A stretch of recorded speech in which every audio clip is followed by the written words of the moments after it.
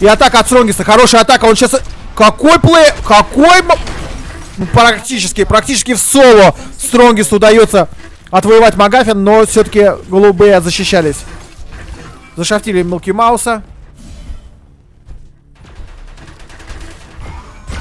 Хороший рейл от Аластраза.